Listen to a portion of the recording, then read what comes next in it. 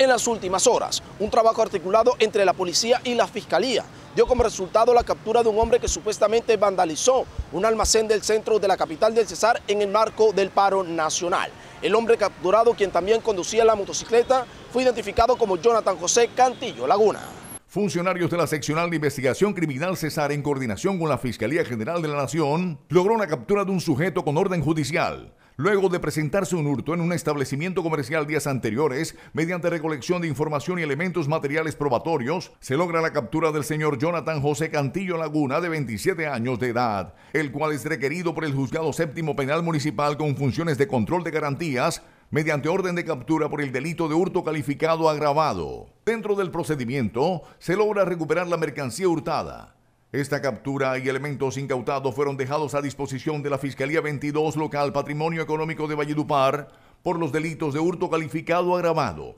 Posteriormente, en audiencia de imputación de cargos, les fue ordenada la medida de aseguramiento en centro carcelario. Eh, los muchachos se portaron, se comportaron muy bien, pasaron muy tranquilos por acá. Y pues lamentamos los actos, los actos vandálicos de estos muchachos que se devolvieron, pues la verdad la mayoría menores de edad, eh, que vinieron fue a saquear, únicamente como quien dice, aprovecharon la situación